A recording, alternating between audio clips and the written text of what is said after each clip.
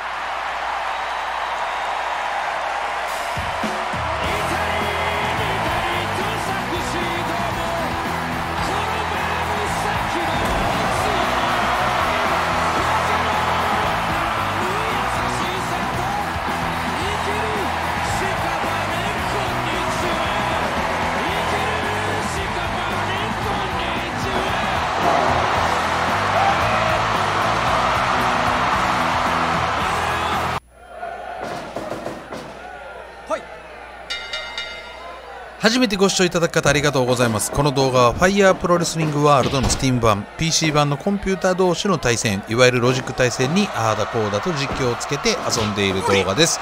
架空ファイプロ団体ワールドマニアックレスラーズ通称 WMW のオーナーである私、マスクド西岡が実況を務めさせていただきます。さあ、ということで、えーやっていきましょうかね。まあ、あのーね、前回もちょっと言いましたけども久しぶりなんでうまく喋れるかどうかわからないですけどもあの今回エントリーしていただきました、えー、シークルトフさん CC さんの、えーコメントを見てるとこの2つの、え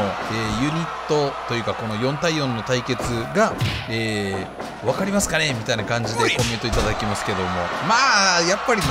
さすがに記憶力に乏しい私でも凶悪同盟とクレイジー軍は、えー覚えています、まあ、あのちゃんと書いといてくれたから覚えてる言えるようなもんだってね。これだけをふと並べられたらなんかようわからん。WMW の初期メンバーですねぐらいで終わらせてたような気もするんですけどね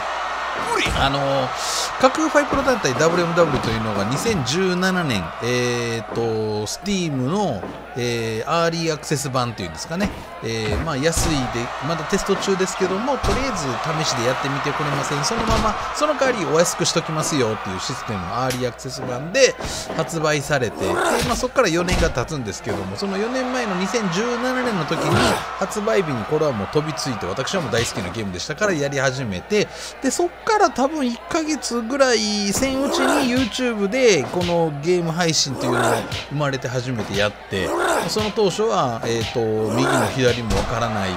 えー、と収録した動画を編集するということすらよくわからず、えーエンカウントでしたっけ？なんかあの、えー、と一回動画をなんかスリム化して出すみたいなこともすらせずにそのまんま撮った動画を生生で YouTube にぶっ込んだりしてましたからね、えーアップロードの時間が3時間とかって平気でありました。まあ何にも本当に分かってなかったんだなっていう頃。今もまああんまりよう分かってませんけどね。でその頃、まあ、あのどういう方針でやるかっていうのをいろいろ悩む時期もちょっとあったんですけども、まああの当然、えーその時スティームのスティあーえっとファイプロとしては初めての、えー、と実在するレスラーとのコラボみたいなのがちょっとああその時最初はなかったんか。発売して1年後ですね。でそのまあ当然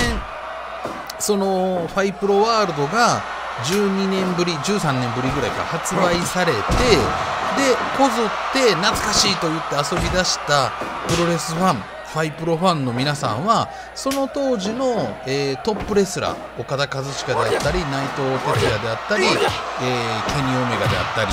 えーその辺のトップレスラーをバンバン作って戦わせてみる、えー新日同士でシミュレーションをしてみる。今後のタイトルマッチでどっちが勝つやろうなとかっていうのもあれば、えー全日のレスラーと新日のレスラーと戦わせてみる、えーまあいろいろそのとにかくトップレスラーですよね。でそういうことをこうみんなやるだろうなっていうのはまあ予想ができたので私としてはそのみんながあんまりやらないところである、えーオールドレスラーであったり、えーまあ、マニアックなレスラーにっていうようなスポットライトを浴びせようみたいな感じで、えーこの各ファイプロ団体ワールドマニアックレスラーズというのが始まったわけですよね。でまあそのこれちょっとなんていうんですかねあの方策と方法、えーこうしては失敗だったかもしれないなでも思うことはあるんですけども実在するレスラーと架空の世界観を融合するというのが僕にはうまくできなかったんですけど、まあ、それでもやらざるを得んということがあってその時にいろいろ作ってたレスラーでなんか軍団を作らなあかんと。やっぱりプロレスといえば軍団構想だぜということで、えー作ったのがヒールっぽいレスラーばっかり集めて凶悪同盟。これはあれですよね。あの全日本女子前女の凶悪同盟からのただのパクリですよね。凶,、えー凶凶悪？えじゃあ極悪同盟か。で極悪同盟だとあのなんていうんですか？そのまんまになってしまうから、えー一応凶悪同盟にしてみたと、えーいうことですねでクレイジー軍はもうその名の通りザ・クレイジー SKB という実在したレスラーですね、えーとリーダーにあとは適当に、加えただけみたいな感じになったと、えーいうことですね、まあ、実際にこの WMW のこのチャンネルの動画の昔の方もうだから4年前ぐらいを探してもらったら多分この軍団構想をしてる、えー凶悪同盟とえー、とクレイジー軍で戦ったりする、えー動画があったりあとクレイジーザ・クレイジー SKB の、えー対四天王とかね、えー対 UWF とか。なんかそういうなんかあの本当に駒が少ないレスラーが少ないからもうとにかく出さなしょうがないみたいな感じの時代の、えー名残と言ってもいいでしょうかね。で、あのーまあそういう WMW の歴史を楽しんでいただくあ懐かしいメンバーが選ばれてるみたいなことが、まあえー今回もエントリーされてるということで分かってたのとそれと、まあ、あの新しくまた WMW として新生 WMW としたら、えーレスラーをブラッシュアップ、まあ、その私がよく使う言葉で中身をもう一回見直すみたいなことをねやるのとそこはねちょっとね今回ちょっと悩んだところではあるんですよ。あの前の懐かしいこの WMW 初期のレスラーの動きをそのままにした方がいいのか、えーもう一回見直していやもっとこれ優先動作使ってとか、えーこんな動きここでカバー行くよりこうやってカバー行った方がいいやろうとか、えーもっとファイヤー攻撃出せよとかね。なんかそんなことをずっといろいろ考えるのをやるのかやらないのかいろいろ悩んだんですよ。で今回いてる8人のうち鶴見五郎は、えー、五郎スープレックス、えー、といわゆる小股すくいスープレックスって言ったんですかね。っていうのが、まあ、五郎スープレックスという名前で鶴見五郎の、えー必殺技だったんですけども、まあ、そういう技がその頃は技クラフトモードがなかったので、えーそれが今回新しく作っていただいている方がいたのでおられたので、えーそれをダウンロードさせていただいて、えー拝借してとかね。あと剣道長崎もやっぱりちょっと強くしようとか。あと前回も言いましたねクリス正信は椅子をたくさん使うようにしようとか。ね SKB はねあんまり変えなかったですね。ちょこっと見直して優先動作をちょっと増やしたぐらい。もうちょっとさらにはちゃめちゃになるようにすればというようなところですかね。で3人デストラクションとえー、とアポカリプスですね。ないわゆるブラックハーツですね。かつて全日本プロレスで、えーと、一の強豪と歌われたけども蓋を開けてみたら、えー、海外で若手のレスラーだったので、えー、全日本プロレスのトップあたり四天王、まあ、その当時まだ四天王ではなかった若手だった三沢とか川田にボコボコにされて、えー、世界のトップであるスタン・ハンセンにもボコボコにされると、えいうことでブラックハーツなんてね本当に見向きもしなかった時代。に私はこれをファイブロの世界で作ってたということになります。でブラックハーツもなんかその時適当に作ったんですよ。あんまり詳しくも調べずにね。でもそれじゃいかんなということで今回はちょっともう一回調べてみたりとかねして。であとサバイバル飛びたも、えー、かなり変えました。もう一回ちょっと試合を見てその頃はねなんか適当にエルボーさえ使っとったらええかなみたいなことはあったんですけどもまあこれじゃちょっといかんなということで。あと前回も多分言ったと思うんですけども椅子関係の技をサバイバル飛びたに装備させています。ただこの試合の中で出るかどうかがねちょっとわからないところですけども、まあ、これはサバイバル飛田にも今後椅子好きの方は、えー、特に、え、ご注目いただけたらと思います。でおお場外へのフランケンシュタイナー。やるなバカ社長。さすが。さあはちゃめちゃの場外戦。場外カウントは今回ございませんのでたっぷりと場外戦楽しんでもらいましょう。そして私は喋り続けましょう。で今回ね、まあ、そういう先ほど言ったようなその WMW からもともといてるレスラー、まあ、初期の頃からいるレスラーでロジック、まあ、中身ブラッシュアップをすることがいいのか悪いのかをちょっと悩んだのが交互なんですよね。今でも正直ちょっと悩んでます、えー、まあ、使う技をほぼ変えてないしポーゴらしさは、えー、決して失われてないと思うんですけどもあのー、荒削りって言ったらいいんでしょうかね。いい言葉と言いましょうか。あのその当時はこれでいいやと思ってやったのが意外と良かったりするんですよね。まあ、ファイプロあるあるの一つで、えー、手の込んでしっかりと考え抜いて作ったレスラーが意外と弱かったりしてで、えー、適当に作ったレスラーがめちゃめちゃ面白い動きするとかね。っていうことはよくあることなんですよね。だからそこのジレンマになんかまた久しぶりにはまってしまっていやーどうしようどうしようと。でまあ交互、えー、作ろうかどうしようか悩みながらうわーチェアーズイリュージョンがここで出た。さあどうだ？椅子大王に対あここでサバイバル飛びがやってくれるとは。チェアーズイリュージョンによる反則勝ちですねこれはね、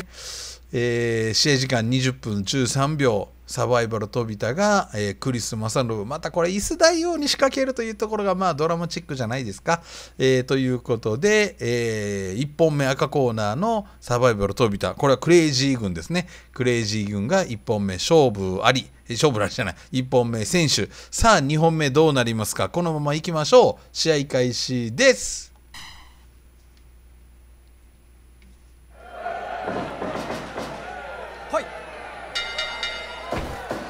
さあということでね、えー、さっきどこまで喋ったか忘れましたけどまあとにかくそのポーゴについてはちょっとねどうしたもんかなと。その昔の荒削りで適当に作ったやつの方が意外となんか面白い動きをする。計算すればするほどなんか動きが制限されるみたいなところのジレンマにちょっと陥ってまあでももうとりあえず一応今回はポーゴをブラッシュアップして、えー、ちょっと滑らかにした荒削りなところをちょっとこう角を丸く収めてみたと言ってるところでサバイバル飛びたがチェアーズイリュージョン連発。さあどうだ？これはあカットに入りましたね。えー、反則。あそうですね。今回この試合反則カウントないのに反則勝ちというルールとしては本当おかしい。あの、各、あ、じゃないや、えー、このファイプロワールドの中で唯一できる反則、あ、唯一じゃないか。今ね、あのー、作ろうと思ったら作れるんですよね。反則勝ちをする技。えっ、ー、とね、どう言ったらいいかな。逆、わざと反則負けになるっていう技が作れるのか。だから、あの例えば、えー、噛み、つけて、噛みつきとか狂気攻撃とか、ああいう、えー、反則カウントが入る技をああいいですね。椅子大王。今度は椅子大王怒ってるぞ。今度はエプロンから椅子を引っ張り出エプロンから椅子を引っ張り出していきましたけどもカウントは2、えー、ということで、まあ、こういうねあの狂気を使った技でわざと,、えーと、技を狂気を離さないでレフェリーに、えー、負けを宣告してもらうっていうことがロジック戦ではね、あのー、できなかったことができるようになったっていうのはちょっとありますね。さあということで2本目どうなるかやって見ていきましょうかね。さあクリスマスの部さすがに先ほどの怒り、えー、恥をかかされたというところでしょう。それを叩きつけるとこまでいきましたが、えー、勝利をつかむ2本目を取るには至らずというところですねで鶴見五郎いいですね。鶴見五郎も先ほどまあ申し上げたようにそれほど大きくブラッシュアップはしなかったんですけど五郎スープレックス、えー、小股スペインスープレックスを実装したのとあとは、えー、ちょっとどういったらいいですかね。あのー、細かい部分で、えー、きちんとカバーに行けるようにしたりとかその辺はやりましたね。だからこれが難しいですよね。ああこれこれこれこれ五郎スープレックスいいですね。五郎スープレックスからさあどうだ？あここはちょっと決めたかった。クリスですがここはブラックハーツ。どっちでしょうね？ブラックハーツもあのもう一回今回、えー、新生 FMW になるということで、えーと、エントリーされてるという状態で調べてみたんですよね。もう一回ちょっと試合見ようと。よーく調べていくと実はコスチューム全く一緒ではなかったんですよね。背中部分に、えー、コスチュームちょっと違いがあったりとかしたことが分かったんですよね。だからその違いをねどっかにあこれ入れてるんやったかな？なんかねちょっとどっかあコスチュームのね脇腹のところにラインが入ってるか入ってないかで本当はちょっと見分けられるようにしたたんですよね。確かねただそれがどっちだったか忘れてしまったので何の役にも立たないというところでしょうかね。さあ剣道長崎が出てきましたがおおいいですね。ドッキリ。さあ剣道長崎もねあの、やっぱり喧嘩最強なのでちょっと強くするべきじゃないかということで一応ブラッシュアップなんだかんだやって一応世には出したんですけども、えー、このねタッグマッチになるとねなかなかからないっていうのはちょっとあるのはありますよね。まあ言い訳というか逃げの一言ですけども。さあちょっとはちゃめちゃになってきましたよ。試合権利があるのは剣道長崎と SKB にこれ変わりましたね。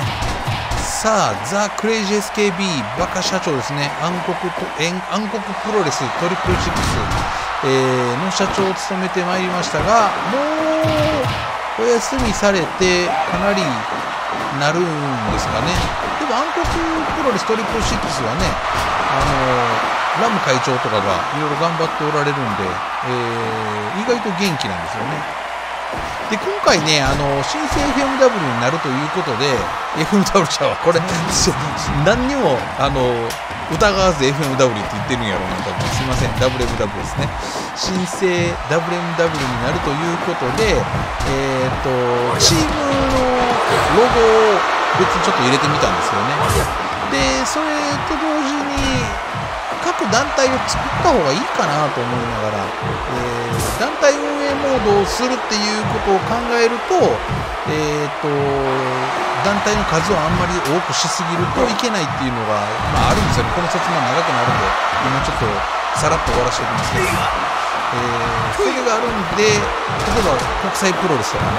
先ほどから申し上げてる暗黒プロレストリプルシックスとかも、えー、団体として作ってなかったんですけども。あのロゴを入れるとねなんかあのちょっとやっぱりビジュアルが良くなる感じもあるので、えー、今回は今回はそれをちょっと作ろうかなと思ってみたり、えー、まあ、ぼちぼちやろうと思ったりということですかね。さあちょっと待ってください場外戦から戻ってきて試合権利があるのは今ポーゴがタッチしたのでクリスということになりますので試合時間は間もなく13分というところ。でブラックハーツのどちらかが今戦ってるということですよね。さあ打撃合戦。先ほど取られたクリスとしてはちょっとここは取り返したいところ。ただちょっと場所が悪い。あさあそして場外戦これはまた長くなるぞ。60分3本勝負ですからまあまあね時間切れまではいかない、えー、でしょう。さあ場外では、えー、クリスをリンチ。でリング内ではブラックハーツのどちらかをリンチ状態ということになってますね。うわーボコボコや。さあ場外カウントはございませんのでなかなか帰ってこないんじゃないでしょうかね。レフェリー和田恭平さんもやることがないというところですが。さあもちろんクリティカルはありますので、えー、誰か KO 今 SKB1 人が止めましたね、えークリティカルで誰かが倒れてしまうということは十分ありうるということになりおおちょっと待ってください。脇固めが決まってますがどうやら試合権利は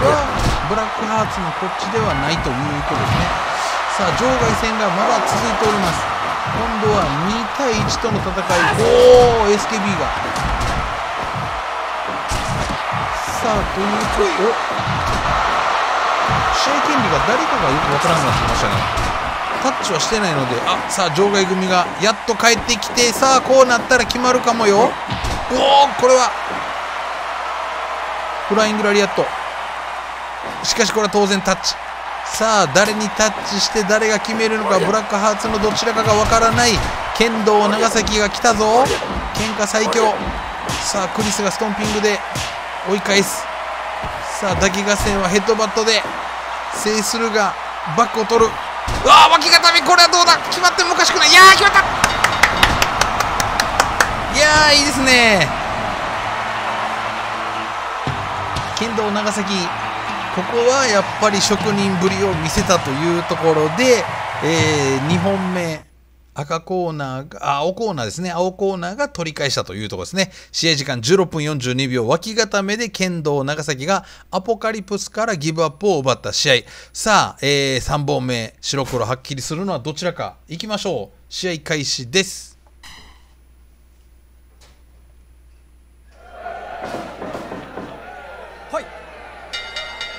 さあというわけで1本目2本目かなりタフな試合になりましたので3本目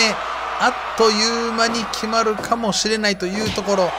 剣道長崎とサバイバル飛田。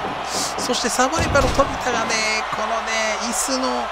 新しいあこれじゃねこれじゃねこれはちょっとやばいぞ。カットに行かないと。急げ。決まってしまうかも。